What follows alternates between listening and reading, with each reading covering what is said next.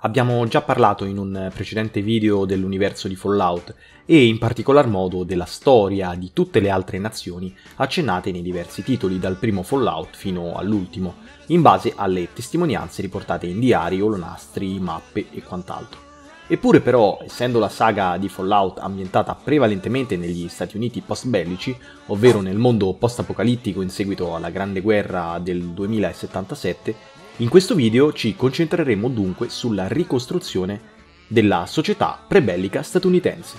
Attenzione però, non aspettatevi un video in cui si parlerà solo ed esclusivamente di eventi storici in successione, anche perché il portale di YouTube ne è pieno, in questo video parleremo invece dei progressi scientifici, sociali, medici e quant'altro portati avanti nel continente americano prima della guerra per capire bene come funzionava e come si articolava la società dell'epoca. Solo immergendoci appieno infatti nel vissuto dell'epoca potremo infatti capire le motivazioni di una guerra così grande con la Cina e il clima tra tensione ed entusiasmo che si respirava per tutto il XXI secolo. Dobbiamo sapere che gli Stati Uniti prebellici in Fallout erano in realtà molto diversi rispetto alle nostre passate e presenti annate. Anzitutto non si trattava più di un'unione di stati come appare invece nel nostro universo, bensì di un'unione di Commonwealth, ovvero un agglomerato di più stati uniti tra di loro e racchiusi in grandi regioni.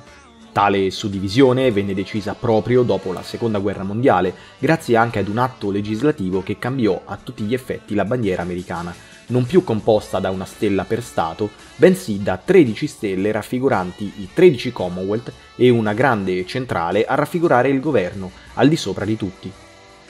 L'obiettivo era chiaro, si sperava che la nuova divisione amministrativa del paese avrebbe contribuito a creare norme e leggi che facessero beneficiare gli stati con comuni preoccupazioni regionali. Un'unione dei diversi stati federali avrebbe quindi aiutato il governo centrale ad essere più efficiente, meno corrotto e più pronto a rispondere al meglio alle sfide poste dalla minaccia comunista, in pieno stile guerra fredda. In realtà sappiamo che tale sistema creerà nel tempo ancora più conflitti politici tra governo centrale e singoli Commonwealth, i quali fecero di tutto per promuovere i propri interessi, a discapito anche degli altri stati.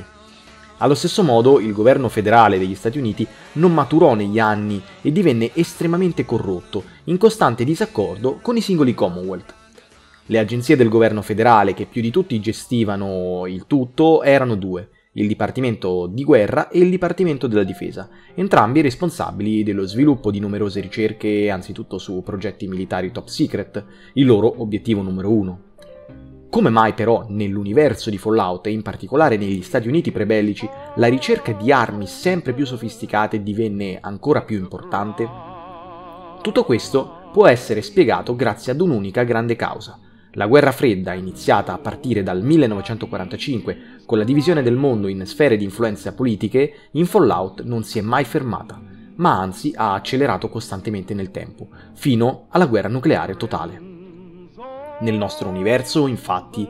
in seguito alla crisi dei missili di Cuba e alla dissoluzione dell'Unione Sovietica, il mondo, diviso in due grandi blocchi, scomparirà gradualmente a favore di un mondo multipolare, basato cioè non solo sull'egemonia e sullo scontro tra due grandi potenze, bensì tra molti altri interpreti mondiali, dalla Cina all'India, dall'Unione Europea agli Stati Arabi. Nell'universo di Fallout non nacquero dunque trattati di non proliferazione nucleare, fasi di distensione internazionale, fenomeni tipici di globalizzazione di massa, così come la intendiamo oggi, manifestazioni di pace e di tutela nei confronti dell'ambiente, e neanche la tecnologia era minimamente paragonabile a quella dei nostri tempi. Nel mondo di Fallout, infatti, è un errore affermare che nulla cambiò rispetto agli anni della prima guerra fredda, ovvero del periodo che va più o meno dal 1945 al 1962, con la fase della prima distensione in seguito alla sventata crisi dei missili di Cuba. Il mondo di Fallout, e in particolare gli Stati Uniti, la nazione più evoluta, non si presentano a noi come un mondo statico e povero. Persino la tecnologia fece passi da gigante a partire dal settore della robotica, privilegiato in particolar modo negli stessi Stati Uniti, i quali furono in grado di creare robot intelligenti e senzienti, capaci di aiutare e spesso sostituire gli esseri umani in diverse mansioni, da quelle domestiche fino a quelle lavorative e anche belliche. Ma non solo questo campo era uno dei più evoluti. Pensiamo ad esempio al campo militare, in cui la tecnologia statunitense riuscì ad emergere grazie alla creazione dell'armatura atomica, un vero e proprio esoscheletro vagamente simile alle corazze dei cavalieri medievali, capace di resistere ad ogni tipo di arma da fuoco senza alcun problema. Oppure pensiamo alle armi laser, a quelle al plasma o persino ai nuclei di fusione per alimentare le stesse armature atomiche ed interi complessi industriali. Ed infine pensiamo al Fatman, un vero e proprio lanciatore personale di mini testate nucleari capaci di far saltare in aria interi quartieri. Insomma, per alcuni aspetti il mondo di Fallout aveva compiuto enormi passi in avanti anche rispetto al mondo in cui noi viviamo, ovviamente in campo bellico. Eppure però qualcosa che ci ricorda gli anni della guerra fredda è rimasto ancora. Molti di voi, infatti, avranno notato più volte le famose TV dal tubo catodico, il suono continuo di radio e musiche vintage, l'utilizzo di automobili in stile tipico anni 50 e anni 60 e la mancanza di computer, telefoni cellulari e internet. Procediamo con ordine. Il mondo di Fallout può essere definito un mondo atom punk, per Atom Punk ci si riferisce ad un periodo storico predigitale, dove a sostituire i transistor applicati all'informatica vi è invece l'energia atomica. In questo universo, insomma, lo spionaggio della prima guerra fredda, insieme alla paranoia anticomunista e del Red Scare negli Stati Uniti, ha preso il sopravvento su ogni cosa. Inoltre, per spiegare gli esempi architettonici presenti in Fallout, dobbiamo considerare che il tipico stile Googie esemplificava lo spirito di quelle generazioni entusiaste davanti alla prospettiva di un futuro brillante, appunto con la ricrescita economica dopo la seconda guerra mondiale, grazie alle nuove scoperte in diversi campi, tra cui ovviamente quello della corsa alla colonizzazione spaziale. Il mondo di Fallout non era un mondo cupo e triste, come molti potrebbero pensare, ancorato alla tradizionalità e al vintage, proprio perché noi associamo la felicità all'innovazione informatica, al possesso di smartphone, di auto elettriche, dispositivi high-tech e quant'altro. Era invece un universo estremamente ricco, proteso verso il futuro e ottimista nei confronti dei progressi tecnologici, che però ha subito un'evoluzione diversa dal nostro e ha mantenuto quasi invariati gli esempi architettonici ed artistici, seppur evolvendosi invece in alcuni specifici settori, quelli considerati i più importanti per la società dell'epoca. Alcune automobili, oltre a quelle che disponevano di serbatoi a benzina, diesel, GPL e vapore, pur conservando un design classico, erano dotate anche di mini reattori a fusione interni, alimentati da nuclei di fusione molto pratici e questo spiega anche alcune mini esplosioni atomiche quando un'auto su Fallout verrà distrutta. Si trattava di energia quasi illimitata se pensiamo che i nuclei di fusione generavano un'energia enorme e garantivano un'autonomia estremamente superiore alle nostre auto a benzina, diesel o GPL. Ovviamente non tutte le automobili disponevano di un sistema a propulsione nucleare e dunque risulterà molto difficile capire nel mondo post-apocalittico se si possa o meno riparare un'auto e riutilizzarla solo ad energia nucleare, data la scarsità estrema di ogni forma di combustibile fossile. Un altro settore estremamente evoluto nell'America prebellica era ovviamente quello robotico già citato. Nel 2037 sappiamo che venne prodotto il famoso prototipo di Mr. Andy, e ben presto tutte le famiglie divennero desiderose di acquistare tale robot. Un automa tuttofare intelligente capace di portare a spasso il cane, potare siepi, prendersi cura dei bambini e cucinare. Ovviamente solo i più benestanti potevano permettersi una cucina totalmente robotizzata oppure un Protectron a guardia della propria abitazione e della propria persona. E per far capire quanto fosse evoluta in questo settore l'industria robotica americana, basta guardare gli esempi degli iBot o dei Vertibot, dei veri e propri droni moderni capaci di trasmettere dei segnali acustici e di trasportare merci presso qualsiasi luogo. Oltre a loro erano anche in fase di progettazione per un mercato mondiale i famosi Cerebrobot, o anche chiamati robocervello. Si trattava di robot a tutti gli effetti, ma i loro ricordi e programmi erano memorizzati all'interno di un cervello organico o parzialmente organico di un essere umano, contenuto in un guscio di vetro o a cupola sostanzialmente una cura definitiva per la morte e la decomposizione di muscoli e organi interni. Infine, solo i più alti vertici militari potevano ambire al possesso di sofisticate armi laser o al plasma, robot militari al proprio servizio come Assaultron o Mr. Guzzi, armature atomiche personali e strumenti in grado di mimetizzarsi, come ad esempio il famoso Stealth Boy, oppure delle vere e proprie armi di distruzione di massa, come ad esempio bombe atomiche e il Liberty Prime, il robot più forte al mondo mai creato, capace di lanciare delle mini nuke in qualsiasi direzione e in grado di polverizzare i nemici con il suo sguardo laser. Anche la tecnologia adoperata da Mr. House nella sua A Vegas, capace di bloccare tutti i missili atomici provenienti dalla Cina, era un chiaro segno che la società dell'epoca era molto evoluta in qualsiasi settore tecnologico, a maggior ragione in quello bellico. Anche i fumetti e la narrativa presente in Fallout ci faranno rendere conto presto del clima di entusiasmo e di fiducia nel futuro e nel miglioramento, soprattutto tecnologico, della società. Ritroveremo infatti soprattutto fumetti di supereroi muscolosi, potenti, a cui tutti vorranno presto ispirarsi, compresi alcuni racconti di fantascienza a tema alieno, tra i più famosi ovviamente quelli della grande azienda della Hubris Comics. Seppur le mode si siano discostate molto poco rispetto al passato nell'America prebellica di Fallout, le industrie belliche, siderurgiche, tecnologiche e petrolchimiche crescevano a ritmi smisurati e proprio grazie alla scoperta del transistor nel 2023 la robotica poté emergere come nuovo ed inedito settore inesplorato. Non dobbiamo farci ingannare infatti dalla presenza di pochi isolati computer o terminali, poiché nel mondo di Fallout Internet era in realtà sviluppato, dato che troveremo spesso messaggi in codice e lettere provenienti da altri terminali e ciò sta a significare che un certo tipo di comunicazione a distanza era ormai utilizzata frequentemente, oltre alle onde radio e al segnale televisivo che erano ovviamente presenti. Inoltre, ci sono numerose testimonianze di supercomputer intelligenti, in grado di memorizzare intere personalità umane e milioni di libri di testo e capaci di prendere decisioni indipendenti all'interno di Vault e di società. Infine, anche l'industria spaziale era estremamente evoluta nell'America prebellica. Carl Bell fu il primo cosmonauta ad andare in orbita già nel lontano 1961, anticipando le mosse sovietiche e cinesi. Eppure, a differenza del nostro universo, gli Stati Uniti continuarono ad inviare astronauti sul suolo lunare fino al 2052, anno in cui si scoprì che le riserve petrolifere statunitensi e messicane erano ormai al collasso, motivo per cui molto probabilmente si abbandonò il progetto di colonizzazione spaziale, durato quasi secolo. Tutto questo ci porta ad un grande interrogativo secondario. Cosa si nasconde sulla Luna di Fallout? Inoltre abbiamo anche la conoscenza della Stazione Spaziale Statunitense, più o meno simile alla ISS di oggi, sulla quale si svolgevano strani esperimenti, come ad esempio quello che riguardava l'astronauta miracolosamente sopravvissuta allo schianto, Sofia Daguerre, legato appunto ad una fase di ibernazione in alcune capsule chiamate capsule del sonno profondo.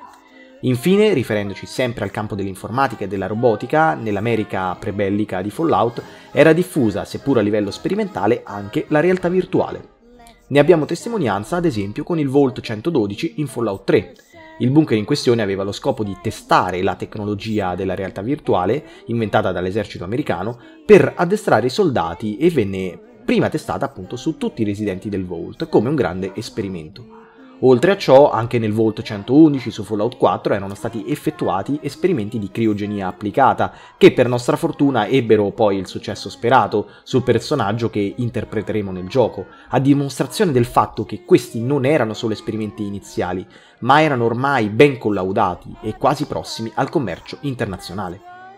L'industria della robotica, spaziale e informatica erano dunque in costante evoluzione, ma anche quella medica aveva fatto passi da gigante rispetto agli anni del dopoguerra. Nel 2002 fu fondata la potente Westech, poi acquisita dal governo enclave negli ultimi anni della guerra per produrre i super soldati destinati al fronte grazie all'utilizzo del VEF. La manipolazione genetica, attraverso lo studio del DNA umano e alla sua riformulazione, divenne una prerogativa fissa di questa importante azienda americana, che si dedicò alle ricerche per quasi un secolo. La scoperta della manipolazione genetica fu di essenziale aiuto durante le ricerche per sconfiggere la cosiddetta nuova piaga, comparsa negli Stati Uniti nel 2052.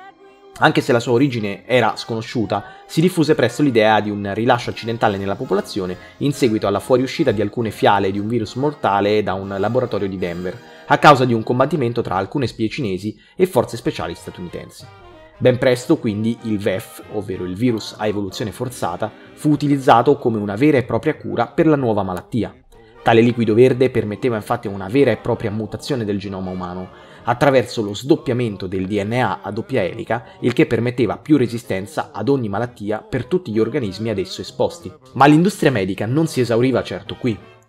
La sua collaborazione con la Robco e la General Atomics, i due colossi della robotica americana, permisero la creazione di dispositivi di cura automatizzati, autoalimentazione, creazione dei già citati Cerebrobot e quant'altro. L'America di Fallout fu, per moltissimi anni, una superpotenza enorme, in grado di organizzare viaggi interplanetari, armi sofisticatissime, veicoli alimentati a celle di fusione nucleare, cure mediche e modifiche del genoma umano al limite della nostra comprensione. Insomma, nell'America di Fallout potremmo dire che il modello di pensiero neopositivista, affermatosi cioè a metà degli anni 20 del Novecento con lo scopo di diffondere una visione scientifica del mondo, unificando l'intera conoscenza umana grazie alle scienze empiriche, diventerà il modello prevalente e durerà più di un secolo. Il richiamo del movimento è ovviamente al positivismo ottocentesco e alla sua tesi del ruolo privilegiato ricoperto dalle scienze sperimentali nel processo di acquisizione della conoscenza, nonché ovviamente alle sue istanze anti-metafisiche. Non per niente, a ben pensarci, la metafisica nell'America prebellica avrà ben poca importanza.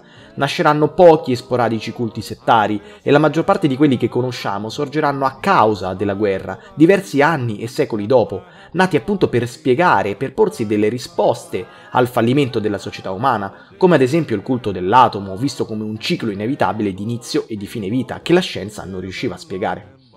Dunque la fiducia continua nel progresso scientifico non lascerà posto a correnti filosofiche nuove e in contrapposizioni, come appunto l'esistenzialismo o la fenomenologia. E così, influenzato nettamente dai progressi scientifici e dalla fiducia verso il futuro, anche lo stile di vita americano e le sue mode, che noi immaginiamo erroneamente essere ferme ed in declino, in realtà ci dicono tutt'altro.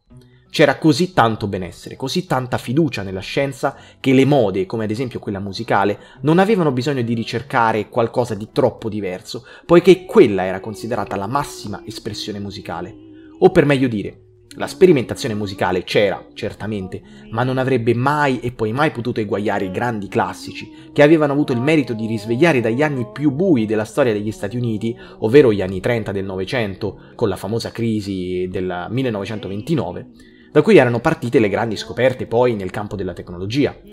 In essi possiamo ben comprendere come il tema della civilizzazione in Civilization, dell'esplorazione in Wanderer, della bella vita in Let's Go Sunning erano centrali nello stile di vita positivo e rivolto al futuro degli americani. Ovviamente non potevano mancare nei grandi classici della società americana canzoni che si ponevano anche domande sul futuro, in particolare sulle conseguenze di una ipotetica guerra atomica, argomento che ricordiamo era ormai all'ordine del giorno, dato che l'aumento esponenziale della produzione atomica e bellica era considerata l'unica via per il miglioramento del benessere sociale di ogni cittadino americano e per la difesa appunto da potenziali minacce, secondo il cosiddetto paradosso della sicurezza. Io sono più sicuro se mi armo ma il mio nemico sarà più sicuro se si armerà a sua volta perché non saprà cosa voglio fare con le armi che ho a disposizione. Canzoni come I Don't Want to Set the World on Fire, Maybe, It's All Over evidenziano queste paure, queste ansie, ma il fatto che esse fossero ormai così famose era anche il segno che l'America e gli americani stessi avevano imparato a convivere con questa minaccia continua esorcizzandola a suon di musica oppure sbeffeggiandola, come chi per divertirsi gioca col fuoco e non capisce che potrebbe in realtà scottarsi. Inoltre un altro motivo molto probabile delle poche canzoni a nostra disposizione su Fallout, tra cui la maggior parte molto antiche, potrebbe spiegarsi con altri due esempi. Anzitutto produrre canzoni era difficile e costoso a causa della mancata scoperta dei CD-ROM ed inoltre la musica molto probabilmente era diventato un settore di nicchia vintage, simile alla nostra musica classica, riprodotta ancora oggi per le grandi occasioni, ma quasi ferma a livello di produzione. In ogni caso però Nonostante tutti i condizionamenti sulla inedita moda e sulla cultura prebellica che si sono sviluppate nell'universo di Fallout, provenienti direttamente dai gusti e dagli stili della cosiddetta società del benessere, derivante appunto dallo spirito degli anni ruggenti americani, qualcosa nel motore americano stava iniziando ad incepparsi. Come un qualsiasi ciclo ha un inizio ed ha una fine. Non dobbiamo immaginare infatti che da un momento all'altro i cittadini iniziarono a temere le conseguenze di una guerra atomica, poiché tutti in realtà erano ben consci di quello che sarebbe prima o poi potuto accadere, ma la trasformazione della società americana inizierà a manifestarsi per gradi, a causa di due diversi eventi verificatisi all'interno dell'universo di Fallout quasi contemporaneamente. Il primo fu la devastante crisi petrolifera in Texas, scoperta nel 2051 grazie ad un documentario e mostrata in tv davanti a milioni di telespettatori increduli. Il secondo fu la dispersione accidentale del virus della nuova piaga a Denver solo un anno dopo, che gettò nel panico gran parte della popolazione americana. Non appena le due notizie iniziarono a circolare in tutti gli Stati Uniti, la popolazione fu colta da panico generale e soprattutto da una crescente preoccupazione e antipatia verso il governo americano. Dalla metà degli anni 50 fino alla Grande Guerra la società statunitense assistette ad un declino sempre maggiore dal punto di vista economico, seppur fosse notevolmente in crescita dal punto di vista demografico, con più di 400 milioni di cittadini all'attivo. Per evitare un collasso generale del benessere collettivo americano, molte informazioni furono insabbiate dal governo, molti oppositori politici alle riforme statunitensi furono arrestati e accusati di essere pagati dai governi comunisti, cinese e sovietico, per destabilizzare gli Stati Uniti.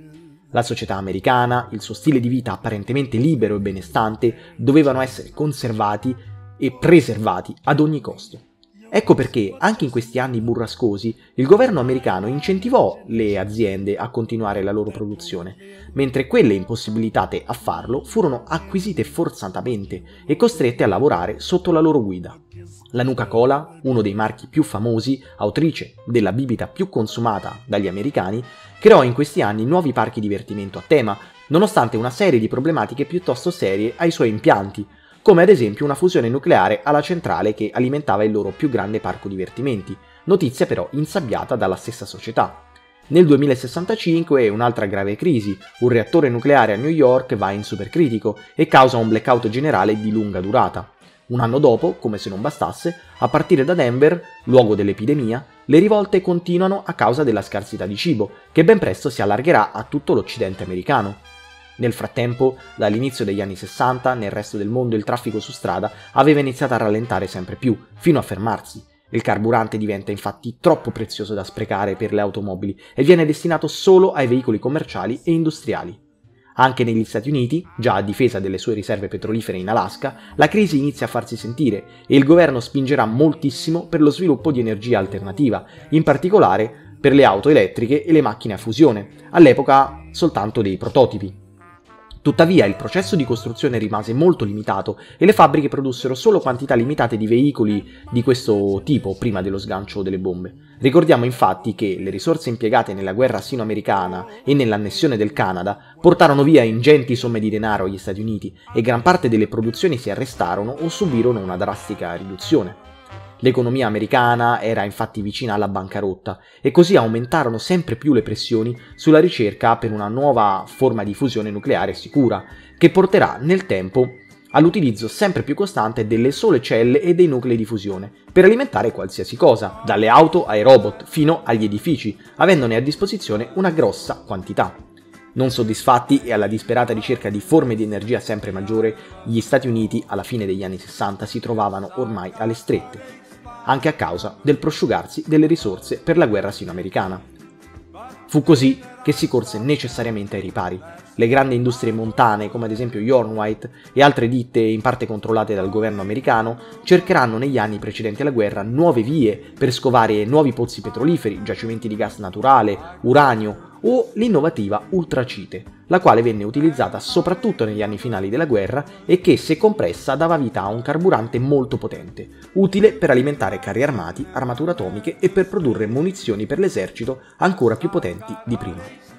Furono subito identificati due luoghi di trivellazione nazionale importanti, ad ovest il Grand Canyon, che perse il suo status di parco naturale e turistico, e ad est le montagne Appalachiane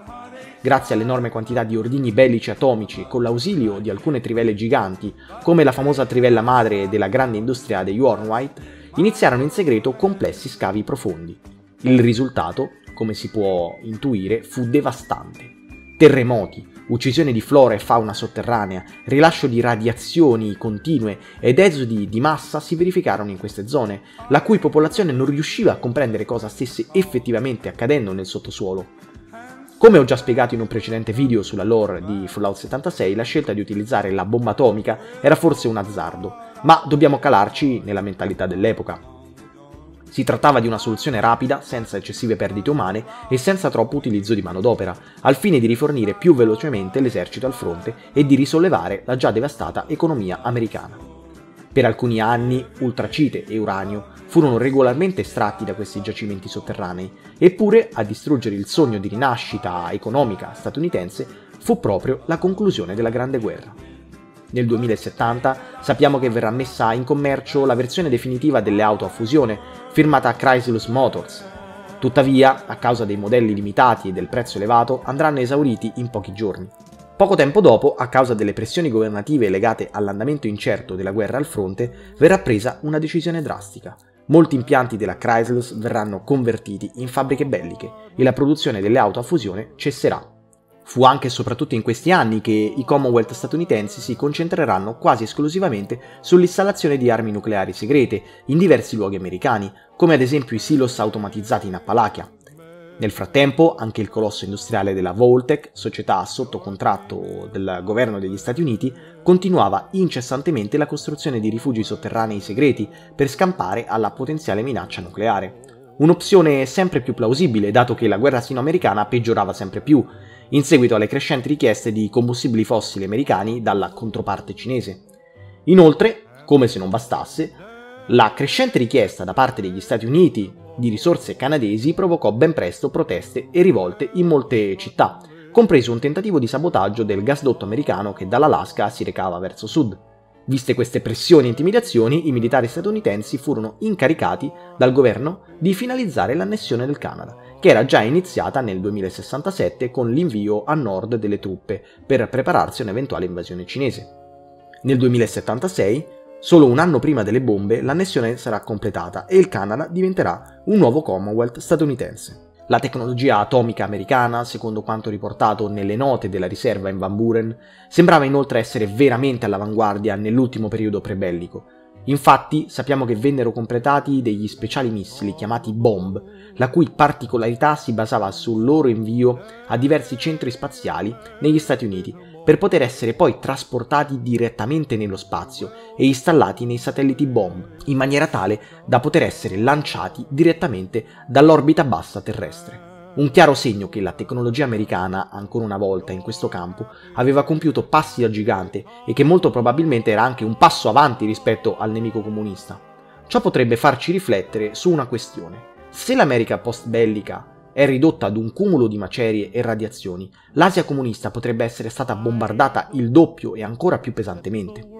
Tuttavia, a mettere in allerta i servizi segreti degli Stati Uniti fu una comunicazione datata il 17 dicembre 2075, girata poi al governo americano, secondo cui la tecnologia stealth cinese supererebbe di gran lunga quella degli Stati Uniti. Inoltre, una flotta di sottomarini non meglio identificati fu individuata dalle stazioni di monitoraggio statunitensi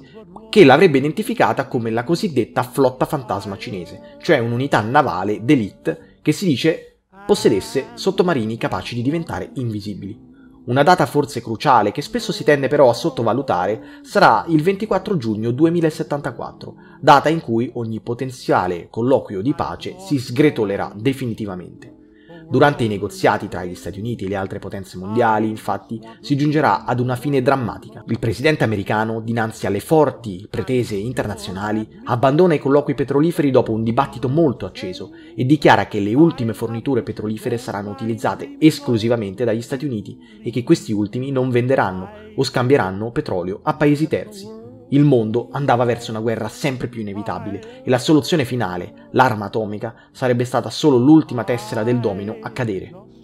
Si trattava ormai solo di questione di tempo, ma l'escalation era già iniziata in questo clima di intolleranza, di scontri internazionali, di guerra al fronte, di rivolte civili e di diminuzione del benessere collettivo, nonostante tutti gli sforzi del governo in clave per nascondere ai cittadini quanto più possibile ogni notizia negativa, in perfetto stile totalitario novecentesco, qualcosa inizierà a cambiare all'interno della società americana.